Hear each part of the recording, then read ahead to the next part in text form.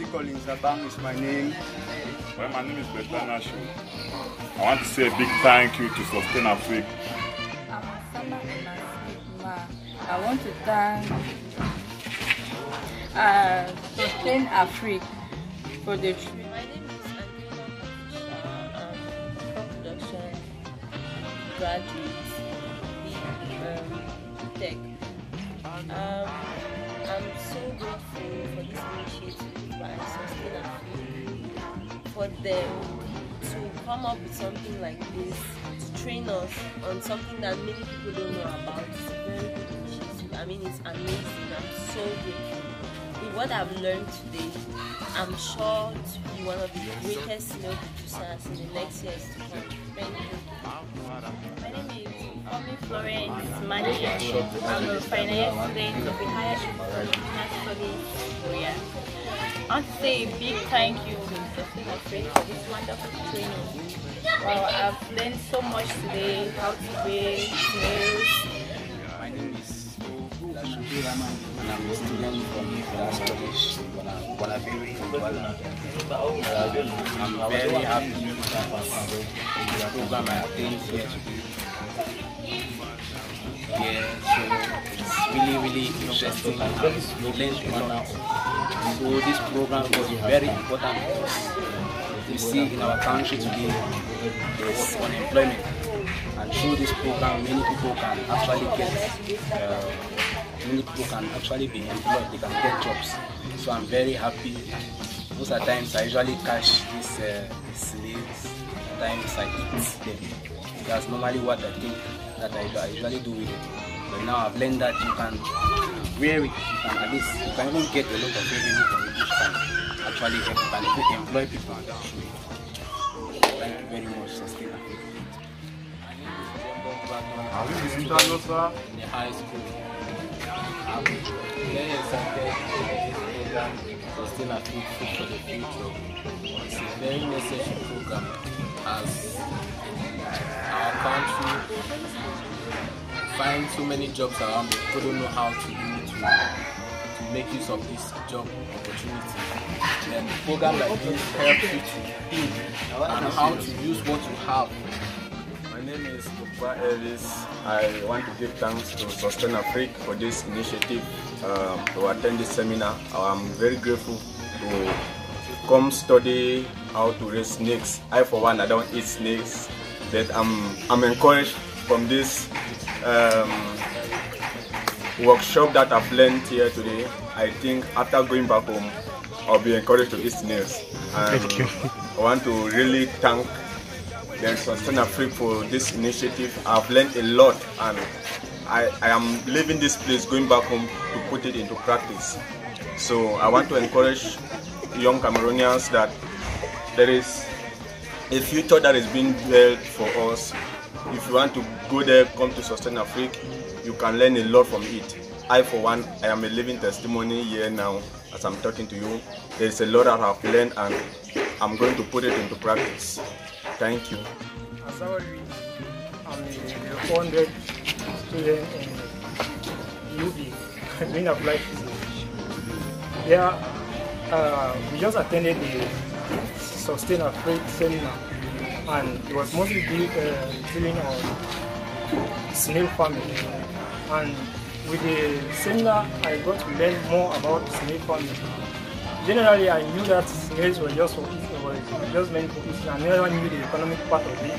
But through uh, Sustain Africa, I came to know that with snail farming, I can actually make money out of it, can make a living out of it. So I really encourage uh, young Cameroonians that are really wanting to indulge in it to follow uh, Sustain Africa because with Sustain Africa they are going to learn more and it's going to boost up uh, their financial life in the future. And with Sustain Africa, uh, we, are, we are going to actually do uh, agriculture while thinking about the future. Because the main thing is not just doing agric- agriculture, but doing it while thinking about who, who are those that are going to come after us. So Sustain Africa is there to actually ensure that. It's for sustainability. It's not just for Cameroon in particular, but also for Africa and the world in general. My name is Jojo Giselle I'm a botanist and an agripreneur. I just attended a workshop on snail farming organized by the Sustain Afrique, which is about feeding the society. And I learned that snail farming is not just picking snails around, just keeping them. There I realized that Sustain Afrique is made up of experts who give you the technical know-how on rearing snails. And various snails is about, it's like taking care of your own self. So I encourage the youth out there to explore this part of livestock and also to follow Sustain Afrique because they have wonderful training which will empower us and together we can build a sustainable tomorrow.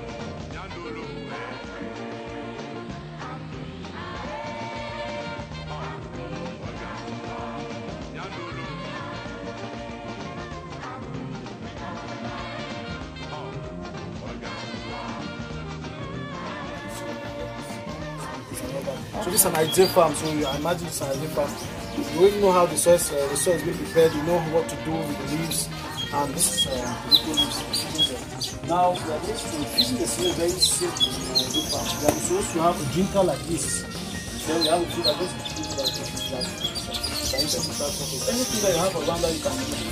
The essence of farming is just trying to customize things the best way possible. So you have something like this. You try to make sure it's level, especially for the water, it doesn't come out. So, like I said, for these big ones, we don't have any problem. We can feed them like this. We can put it like this for the big ones. Really be good because normally when we had um, oyster shell, we usually sprinkle on top of the food to make it more attractive because they uh, they like calcium a lot. So when we mix in water, we sprinkle on top of this. So as they're feeding, they're uh, feeding on the oyster shell and getting calcium.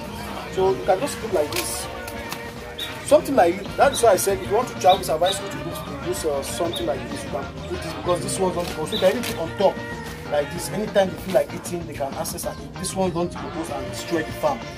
This, the only thing this thing can do is it gets dry, dry up, but it barely decompose and the the open. So you can put that on top of the house. Really help in uh, reducing the sun rays, there, something like that. But you don't expect something like the yams or anything like this come and start pouring here like destroying the farm. So you have to look for somewhere like this. Normally we have our constant have to mix with it. Just put it inside and mix it with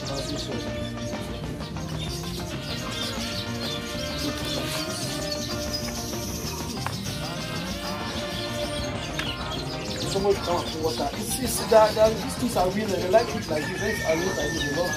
They love.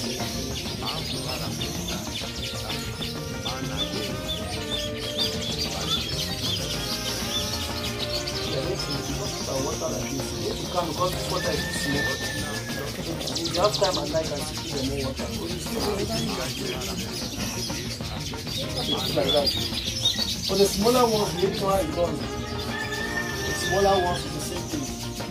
Okay, me let's go to this uh, thing. You have to know because will put on everything. There are so many of the here, so you can find the next inside, you can just inside. Or you put somewhere here somewhere here and you find the snails coming.